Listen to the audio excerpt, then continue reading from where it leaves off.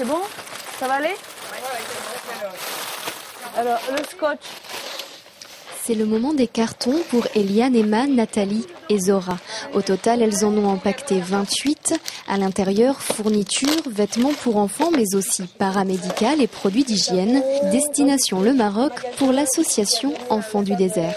Lors de la, du dépôt, il y a une rencontre avec les enfants dans les écoles, de façon à ce que si quelques-unes euh, sont intéressées, il puisse y avoir un marrainage pour un suivi de l'enfant euh, sur un an, deux ans, trois ans, le temps de la scolarité primaire. Et c'est dans ces 4x4 que s'effectue le chargement.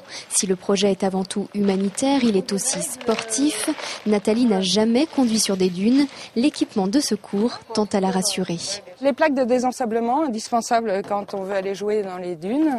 Euh, voilà. Euh, euh, ça permet de les glisser sous les roues quand on est euh, ensablé et euh, on l'espère de pouvoir sortir sans trop euh, pousser, pelleter. Et, et donc euh, juste avec la marche arrière et les plaques bien positionnées, ça doit sortir normalement. Quant à l'itinéraire, il est encore inconnu. Elles découvriront à Tanger les 200 km à effectuer tous les jours.